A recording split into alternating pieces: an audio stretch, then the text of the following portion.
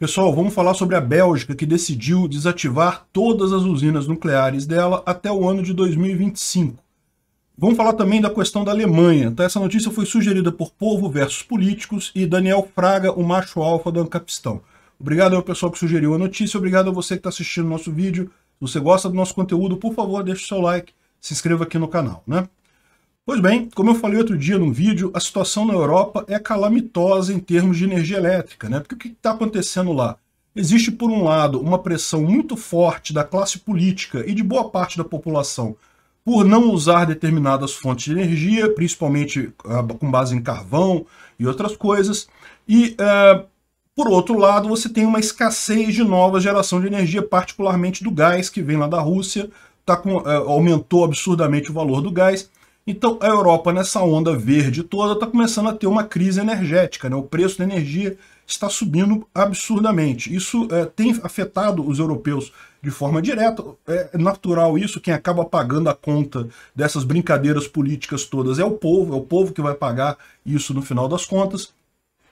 É, mas é aquele negócio, está gerando já um efeito de é, volta atrás nessas políticas verdes, porque de fato tem alguma coisa aqui que é complicada. Né? Por exemplo, o caso clássico é o caso da energia nuclear.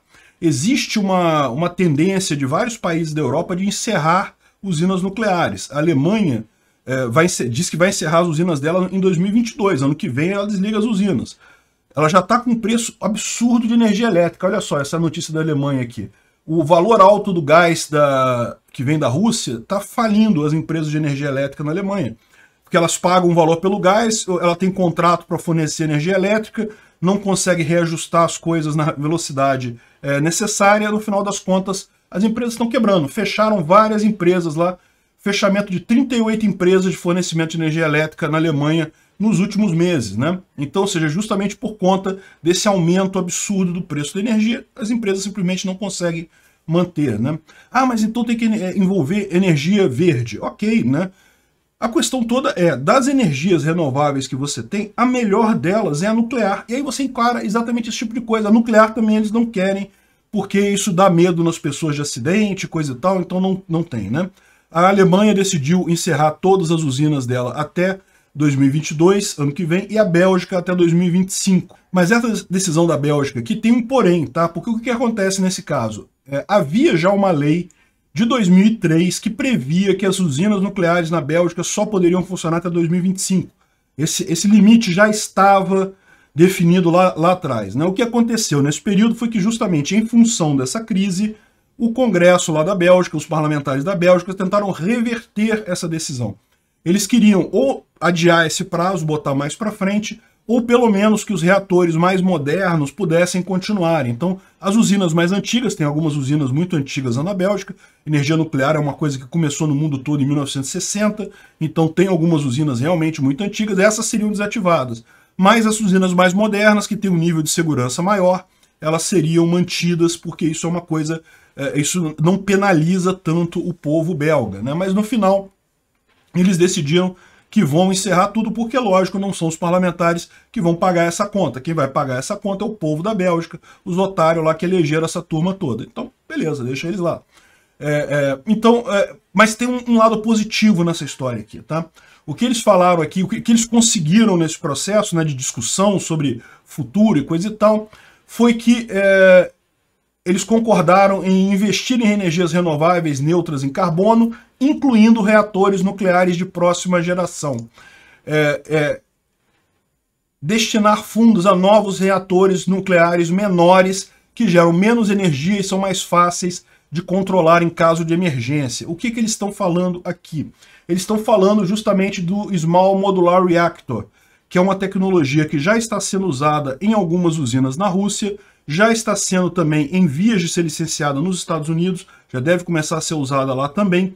Qual que é a proposta aqui? A proposta é, ao invés de você ter um grande reator com muita energia nuclear e ao mesmo tempo, você vai dividir esse negócio em pequenos módulos, pequenos reatores com capacidade menor é, de cada um, né? Mas é lógico que você vai ter vários deles na planta. Então, a ideia, aqui eles falam que não são reatores que, que geram menos energia, mas assim, uma usina pode gerar tanta energia quanto ela queira, basta ela ter vários desses reatores pequenininhos, né? Então a ideia é essa. Por que, qual que é a vantagem em termos de segurança disso daí? A vantagem em termos de segurança é que justamente por ser um reator menor, se isso daí gera uma, um vazamento, gera uma liberação, é uma liberação menor, né? Você tem uma, uma, uma quantidade menor de material sendo liberado e dessa forma você evita grandes acidentes nucleares. Ainda podem eh, ocorrer acidentes, é lógico, as usinas mais modernas, e essas aí inclusive têm vários controles, são usinas muito diferentes de Chernobyl, é, é, elas têm mais de uma, de uma é, camada de proteção ali interna, e como a quantidade de material que tem ali é pequena, a tendência é que seja, mesmo que aconteça um vazamento, seja um vazamento menor. Né? E não é só isso. O próprio desenho do reator ele é passivamente seguro. O que quer dizer passivamente seguro? Se é, é, tudo desligar, acabar a energia elétrica, sumirem os operadores, não tiver ninguém lá, a, a, a, a reação se extingue. Ela não vai entrar em runaway é, reaction, né, em, em, reação em cadeia ou reação explosiva, como aconteceu lá em Chernobyl, como aconteceu em alguns outros casos, em Fukushima, em que você teve uma quebra lá da, da, do, do, do, da água. Né? Qual é a outra vantagem nessa usina pequena? Né? Justamente pelo modelo dela ser pequeno e coisa e tal, ela requer menos complexidade para ser operada.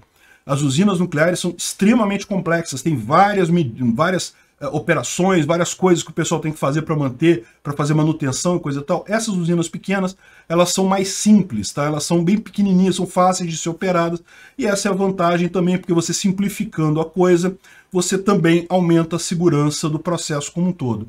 E ainda tem uma vantagem que dizem que ela é economicamente mais barata que as usinas, é, digamos, tradicionais. Por quê? Porque você pode ter uma grande fábrica de reatores, então, é, ao invés de você, hoje, como é, como é hoje, né, como é que foi é construído Angra 1, Angra 2? Você faz, constrói o reator ali no lugar, né? Onde você for colocar aquele reator, você constrói ele. Só que isso daí você não consegue ter justamente a produção é, é, em uma linha de montagem para produzir essas coisas, porque é cada um no lugar. Com isso daqui dá para você fazer, em tese, uma linha de montagem. É como se fosse uma grande pilha esse troço. É uma fábrica que vai fabricar essas pilhas, pilhas nucleares, pequenos reatores, e depois manda para o lugar que elas vão ser operadas. E aí coloca lá e liga o negócio, e a partir daí gera energia elétrica. Né? É, esse tipo de desenho também, ele é, tem outras vantagens na hora de fazer reciclagem do material, porque como o tipo de reação que ocorre ali, ele queima também o tório, queima também um monte de, de é, produtos que hoje são subprodutos de usinas nucleares normais. Então ele vai, ele queima mais coisa, então deixa menos lixo nuclear no final das contas. Enfim, tem uma série de vantagens, tem muita gente que aponta que isso daqui será o futuro da energia nuclear no mundo todo. Já tem, é, como eu falei, já tem uma operação na Rússia, já tem também na China uma planta que deve entrar em operação no final de 2026. Então é uma coisa que deve acontecer nos próximos 10 a 20 anos em termos de energia nuclear, mas é o futuro. Agora, isso é um problema para a Bélgica, tá? Porque aquele negócio de falar, não, beleza, vamos aceitar esse tipo de usina nuclear menorzinho. Mas como eu falei para vocês, isso é o tipo da coisa que tá, é uma é, tecnologia em desenvolvimento. Isso vai estar maduro daqui a 10, 20 anos vai estar tá economicamente viável lá na frente.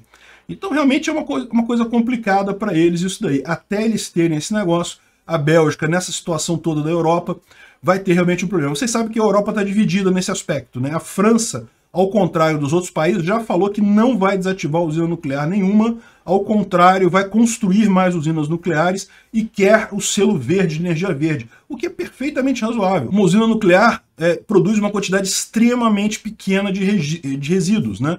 praticamente só o resíduo do final lá da queima do, do urânio e nesse, no final das contas isso é, costuma ficar armazenado na própria usina, é tão pequeno que não faz nem diferença para todos. A única questão da usina, da usina nuclear é o risco de acidente. Esse risco existe, mas como eu falei, é, os desenhos mais modernos de usinas nucleares são extremamente seguros, né? Então, enfim, está é, tá tendo essa divisão justamente porque realmente, do jeito que está hoje a Europa, com escassez de energia, com valor da energia absurdamente alto, chega a ser uma coisa meio sem sentido abrir mão dessa energia nuclear. Né? Sinceramente, é, é, é uma coisa, é uma consequência que os belgas vão pagar por muitos e muitos anos esse erro absurdo do governo belga. Obrigado por sua audiência. Se gostou do vídeo, por favor, deixe o seu like e se inscreva no canal para aumentar a relevância dele no YouTube. Assim, mais pessoas terão acesso às ideias da liberdade. Considere clicar no sininho e pedir todas as notificações para ser avisado de novos vídeos. Se quiser contribuir sugerindo notícias, vá em nosso site ancap.su, cadastre seu usuário, clique em sugerir pauta. Basta colocar o link da notícia, escolher a melhor foto e confirmar.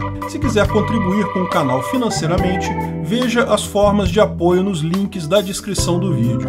Contribuindo, você pode fazer parte do Discord dos patrocinadores. Se quiser camisas com a marca do canal, veja nossa loja no site pimentanocafé.com.br barra visão libertária. O link está na descrição do vídeo.